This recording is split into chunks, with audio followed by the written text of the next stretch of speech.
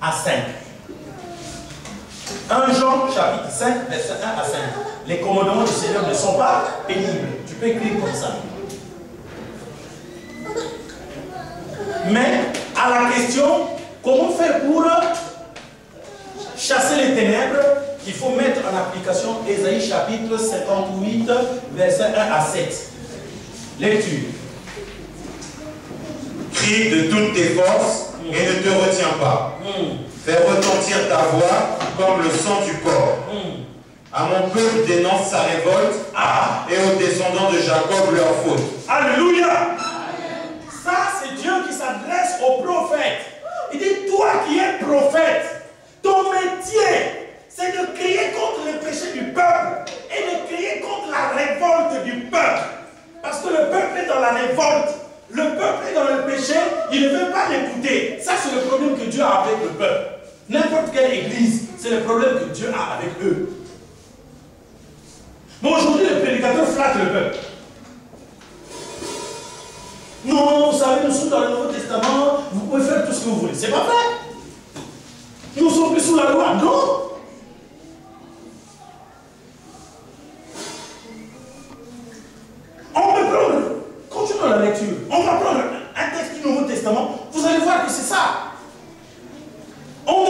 Christ crucifié.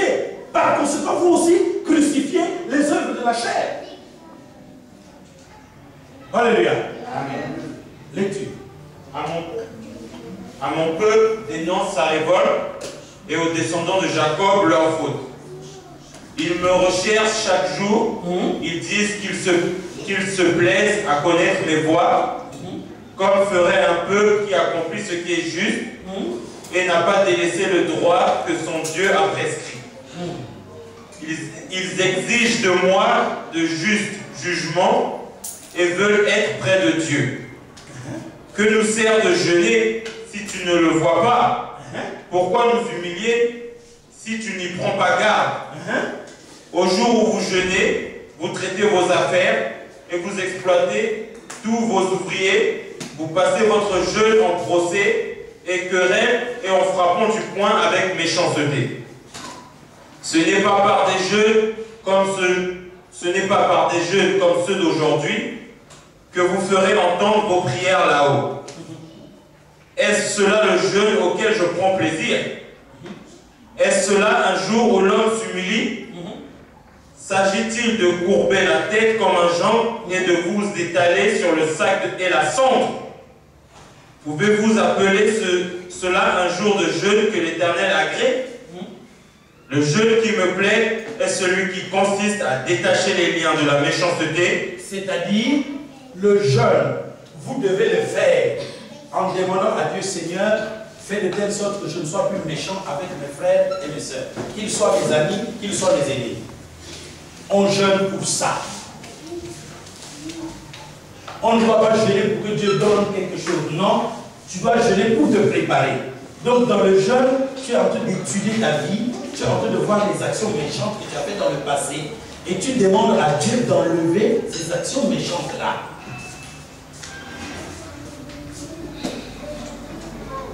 Continuons. à délier les courroies de toute servitude C'est-à-dire que s'il y a quelqu'un qui est ton esclave à cause de toi, frère, je connais, même dans nos églises, des maris qui sont esclaves de leurs femmes. Donc les femmes les manipulent comme ça, comme un dribbleur. Donc le pauvre mari souffre. Par exemple, une soeur qui fait souffrir son mari comme ça. Mais qu'est-ce qu'elle va demander à Dieu que Dieu va lui dire? Il faut que cette soeur se mette à jeûner pour qu'elle arrête de dribbler son mari. Elle prend son mari, elle devient Maradona. Hein, pas ça, hein, tu verras. Le pauvre mari tremble parce qu'il sait que ça ne passera pas. Il est obligé de faire ce qu'elle veut. Quand le mari est faible, elle va devenir forte. Hein, c'est ce que je te disais, non? Maintenant, au coquin, tu vas voir ça. Le pauvre mari connaissant qu'on est en France, dans un pays de droit, voilà ce qui se passe. Donc, une soeur qui fait de telles choses comme ça, elle doit apprendre à ne plus le faire. Quand elle apprend à ne plus le faire, Dieu appelle ça un jeûne. Parce que le jeûne signifie prendre des privations conscientes dans le corps. Oui. Ça ne signifie pas ne pas manger ou ne pas boire, non. Conscientes pour le corps. Faire souffrir le corps. En, en fait, le verset qui explique bien le jeûne, c'est 1 Corinthiens chapitre 9, 23 à 27. Le jeûne, c'est ça.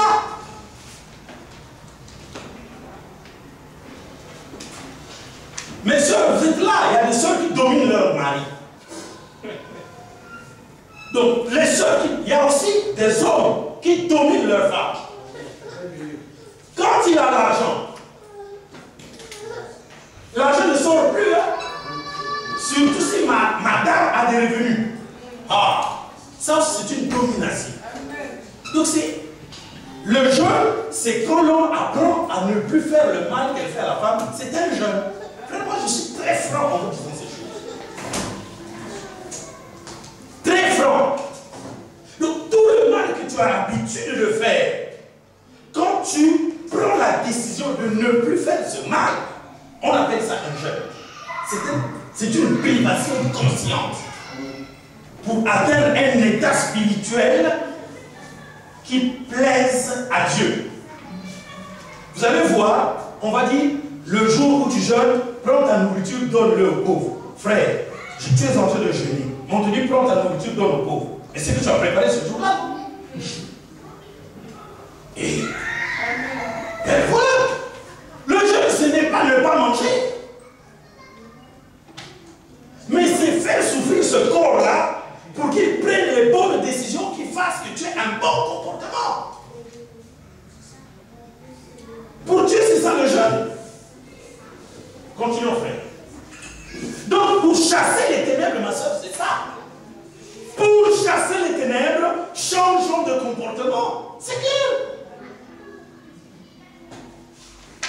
Délier les courroies de toute servitude, à mettre en liberté tous ceux que, l'on opprime et à briser toute espèce de joug. Frère, doucement. On doit mettre en liberté tout ce que nous opprimons. Aujourd'hui, dans tous les pays arabes, ils sont en carême. Mes amis musulmans peuvent très bien écouter. De quel carême s'agit-il? Si les dirigeants font souffrir de, de faim le monde arabe, Frère, en Arabie Saoudite, on plein jeune, En Jordanie, en Palestine. Mais les dirigeants sont plus riches que le peuple. Les dirigeants appliquent Dieu. S'ils veulent qu'ils mangent bien, mais qu'ils donnent des bons salaires au peuple. Ça, Dieu va appeler ça le vrai jeûne. Sinon, ils vont perdre 40 jours. Ils vont mourir de faim pendant 40 jours en vain. Le vrai jeûne, c'est délier toute domination qu'on a sur les autres. C'est pas ce que ça dit là. Mettre en liberté Tous ceux que l'on opprime, tous ceux que l'on opprime. briser toute espèce de joug. Serait qu'il n'y ait plus d'esclavage. Or, pendant qu'ils sont en plein jeûne, il y a les autres qui crient faim. Pendant le jeûne, le ramadan, ils sont en train de dire Tombe Hérat Moubarak Hérat Moubarak Va-t'en Moubarak Ils l'ont chassé comme ça, mais parce qu'ils ont faim. Bon, vous expliquez comment Tous les ramadans, Moubarak étaient là. Or, voilà le vrai jeûne. C'est la parole de Dieu, non? Amen. Donc la parole de Allah, non? Amen. Donc, Ce qui est dans la Bible, c'est aussi normal pour ce qui est du Coran, si c'est le même Dieu. Mais bien sûr. Voilà la vraie Sarat. C'est ça. Sarat. Surat, c'est le verset divin. Sarat, c'est le jeûne. Zakat, c'est le monde. Il faut connaître. C'est partager ton pain avec ceux qui ont faim et offrir l'hospitalité aux pauvres sans abri. C'est donner des habits à celui qu'on voit nu. Frère, le jeûne, c'est partager ton pain. Donc, on se représente. Si tu as du pain, c'est que tu as préparé le pain. Nous allons Je ne peux pas préparer la nourriture parce que je suis en train de jeûner. Mon mari aura faim parce que l'odeur là qui monte, c'est aussi manger. Ah Quelle spiritualité?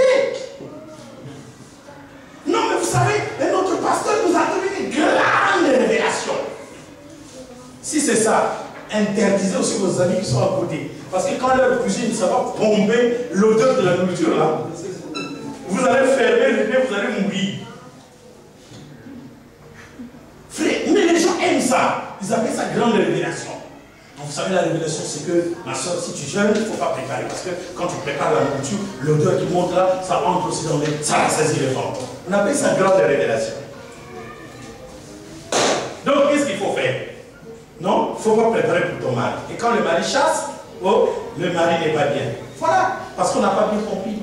Or, ici, on nous dit, partage ton pain. Donc, tu vas préparer le pain. Maintenant, pendant que tu prépares le pain, l'odeur du pain ne va pas monter dans les narines et rassasier le ventre. Pourtant, la Bible le prescrit bien. Alléluia. Amen. Donc, voilà comment on doit faire dissiper les ténèbres. Bien aimé, dans tout cet enseignement-là, nous sommes en train de comprendre que le problème que nous avons, c'est nous-mêmes. Nous préparer. C'est ça qui nous manque. Et c'est pour ça qu'on vient à l'église.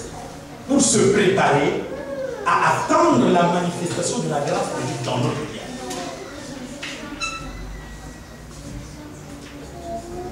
On ne veut pas payer le prix. Mais on veut que Dieu fasse des choses. Mais comment? La parole devient aujourd'hui comme elle n'est pas forte et puissante.